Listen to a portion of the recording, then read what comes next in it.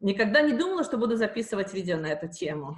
Вообще никогда не думала, что будет что-то подобное с коронавирусом. Такое ощущение, что смотришь какой-то фильм ужасов. Но поскольку у всех сейчас это наболевший вопрос, и самый больной вопрос, это, я бы сказала, для иммигрантов.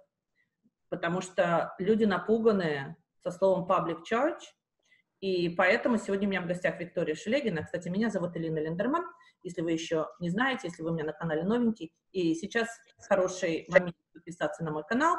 Я налоговый консультант, а Виктория – иммиграционный адвокат. И именно поэтому я пригласила ее сегодня, чтобы ответить на все ваши вопросы. Напоминаю, что миграционное право федеральное, поэтому оно относится ко всем, независимо от того, в какой точке Соединенных Штатов вы живете. Правильно я сказала, Вика? Все верно. Здравствуйте. Еще раз здравствуйте. Ну что ж, поехали, Вика. Паблик charge, коронавирус, все в панике. Самый главный вопрос. Сейчас государство выпустило новый закон о том, что многие из нас получат живые деньги. Будут, так сказать, чеки или прямо перевод на счет налогоплательщиков для тех, у кого есть этот счет в системе IRS. Скажи, пожалуйста, можно эти деньги получать иммигрантам? Ну, конечно, можно, да, если государство вам платит, то можно. Это не public charge? Или это нет, нет, эти выплаты совершенно не относятся к а, государственным, а, к бенефитам, да, которые в, включены в список public charge. Нет, можете смело получать эти деньги. То есть это просто вообще возврат налогов, если говорить? Абсолютно, ну да, это фактически да. Это тот, тот же самый вопрос, а, легально ли, можно ли получать возврат налогов иммигрантам. Можно. То есть, повторимся, если у вас только грин-карта, если вы подали на политику, если у вас какой-то другой миграционный статус. Если у вас просто виза, не знаю, И2, Л1, э, что угодно, и вы платили налоги, и вам положено, э, положены эти выплаты, можете смело получать, да. Спасибо. Теперь мы знаем, поставлены точки над «и». Далее, безработица. Сейчас, к сожалению, такая ситуация, что очень многие подадут на безработицу, не потому что они лентяи, а потому что такая ситуация сложилась. Безработица, public charge, да или нет? А, большей части нет. Но, есть, есть, но да. это не public charge сама по себе, а, не безработица, а, скажем так, unemployment, эти вот э, пособия, да, по unemployment, нет.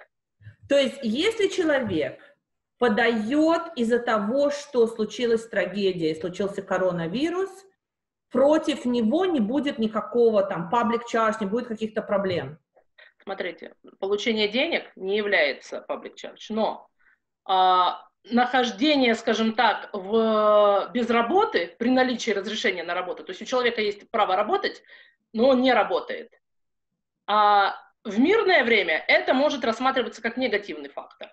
Сейчас, в общем, мы живем, скажем так, да, в полувоенное время, поэтому я думаю, но опять же, имейте в виду, что это только мое мнение, то есть это не подкреплено пока за, законом. Я думаю, что а, иммиграционная служба будет, а, скажем так, закрывать глаза и принимать во внимание, почему человек не работал. То есть, то есть на данный момент ничего нету в письменном виде, нет такого закона? Пока нет. нет. То есть мы ждем? Да. Я, я надеюсь, что они это все-таки оформят на бумаге, да, по, пока вот только есть, что называется, то, что у нас есть старые правила, что бы ты посоветовала? Ждать что-то в письменном виде или а, все-таки можно подать? Если вы находитесь вот в подобной ситуации, да, что называется между да и нет, с одной стороны да, с другой стороны нет, вот такая ситуация может быть, э, посоветуйтесь с вашим адвокатом. Это тот случай, когда каждый факт должен быть э, проанализирован конкретно в каждом случае. И тогда можно вот с большей определенностью говорить. Вот, например, если вы, а у вас виза O1, то есть и вы, вас э, лишили сейчас э, работы, вы не можете работать, то, с одной стороны, вы можете получить, а, вы имеете право действительно получить э, пособие по безработице, вы на это имеете право, и это не public charge Но, с другой стороны, понимаете, ваша, ваш статус, легальность вашего статуса миграционного, зависит от вашей работы. Вы должны работать, чтобы быть в вашем статусе. Понимаете, ОВАН? Mm-hmm. И поэтому, если вы получаете unemployment, вот эти вот бенефиты, то вы тем самым подтверждаете, э, подтверждаете, что вы не работаете, вы теряете этот статус. Поэтому mm. это очень такой вот комплексный вопрос, и если вдруг вы вот находитесь в этой ситуации, то, пожалуйста, а, лучше потратьте время и посоветуйтесь, посоветуйтесь с адвокатом, чтобы, чтобы проанализировать. Да. Вика, а у тех, у кого же есть грин-карта и просто в будущем хотят на гражданство? А, нет, это абсолютно нет, на них это не влияет совершенно. То есть для них все окей? Абсолютно. А те люди, которые на политику подали, потому что сейчас очень большое количество людей. Ну, политика, они в принципе находятся в списке, то есть на, на них public charge rule не распространяется вообще, mm-hmm. поэтому здесь тоже абсолютно все спокойно. А остальные посоветуйте. Семейная иммиграция, бизнес-иммиграция, рабочая иммиграция, да, нужно быть осторожными, но еще раз говорю, для кого-то. Для кого-то нужно быть осторожными, а кто-то может свободно получить. Ну, логично. Слушай, вот еще такой вопрос, который мне постоянно задают. Сейчас у людей, к сожалению, будет проблема с деньгами, то есть существует другая помощь. Например, медицинская страховка Medicaid. Это страховка для малоимущих обычно, но сейчас изменились правила и расширили эту программу, она будет доступна большему количеству людей. Что можно сказать про Medicaid?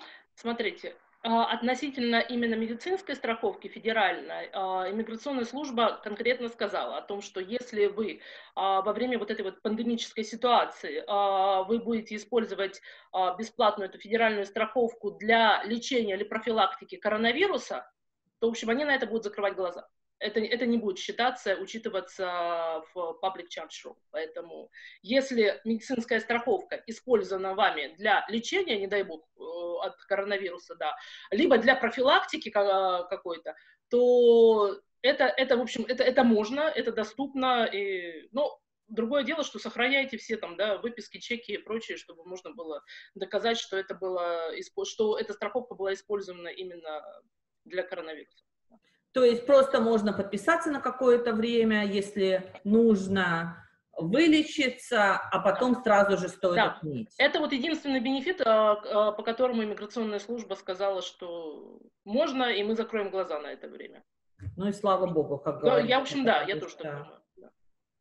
Что-то еще, на что-то еще стоит людям обратить внимание? Что-то, может быть, о чем-то волноваться, бояться или не бояться, наоборот? Какой-то совет есть от тебя? Ну, смотрите, э, я хочу сказать, что вот по поводу страховки, тот вопрос, который ты затронула, это очень важный вопрос, несмотря на то, что это ну, не правило, объявление миграционная служба вывесила, наверное, дней 10, а то и две недели назад, наверное, у себя на сайте и говорила. А, я читаю в прессе, что люди все равно боятся, они все равно боятся обращаться, да, за страховкой. То есть я еще раз говорю, ваша жизнь и ваше здоровье гораздо важнее, да, и даже иммиграционная служба это понимает, то есть, потому что ваше здоровье, по большому счету, оно завязано и на наше здоровье, да, то есть, ну, да, мы, каждый, да, каждый из нас есть такое понятие, как коллективный а, иммунитет. А, идите, пожалуйста, обращайтесь, э, обращайтесь за медицинской помощью. Дальше я могу сказать, что даже иммиграционная полиция сказала, что они не будут э, задерживать э, в госпиталях медицинских учреждениях. То есть, если вы боитесь, что там стоят нацгвардия или еще там какие-то люди, в общем, много представителей правопорядка, а, не бойтесь, иммиграцион, иммиграционная полиция сказала, что, знаете, это какое время засухи такая, когда там, где в Африке во время водопоя никто ни на кого не нападает. Собственно, да, иммиграционная полиция, она э, сообщила, официально сообщила, что они не будут проводить э, задержание нелегальных иммигрантов э, в медицинских учреждениях и госпиталях. Поэтому, пожалуйста, обращайтесь за медицинской помощью, не бойтесь. Спасибо. С вами Виктория Шелегина, иммиграционный адвокат. У нее офис в Орландо, но еще раз вам напоминаю, что закон федеральный, поэтому она может вам помочь ответить на ваши вопросы, независимо от того, в какой точке США вы находитесь. Под видео, пожалуйста, оставьте свои комментарии. Естественно, что каждому из вас индивидуально мы не сможем ответить, но что мы сделаем? Мы возьмем ваши вопросы и запишем еще одно видео с ответами на ваши вопросы. К сожалению, информация меняется постоянно, какие-то пояснения входят постоянно. Информация, которая была вчера, реальной, уже сегодня нет. нет Поэтому будем держать всех в курсе событий. А, Вика, большое спасибо. Рада была помочь. Всем Будьте всего здоровы. доброго, будьте здоровы. Да, всего доброго.